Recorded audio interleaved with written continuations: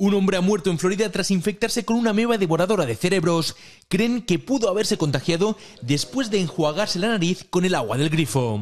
Esta persona eh, eh, llevó a su fosa nasal dentro de la fosa nasal para hacer un lavado nasal eh, eh, ya sea por una gripa, ya sea por alguna otra enfermedad. Aún hay muchas preguntas sin respuesta. El Departamento de Salud de Florida, que sigue investigando el caso, ya ha aclarado que este tipo de infecciones nunca pueden darse por beber agua del grifo, solo pasa cuando entran en contacto con las fosas nasales. La persona podría lavarse, bañarse, eh, tomarla, inclusive de pronto cocinar con eso y de no pasa nada. Ese caso es extraordinario y raro porque la mayoría de infecciones se dan en personas que han nadado en lagos o ríos cálidos, donde se reproduce esta meba con mayor facilidad.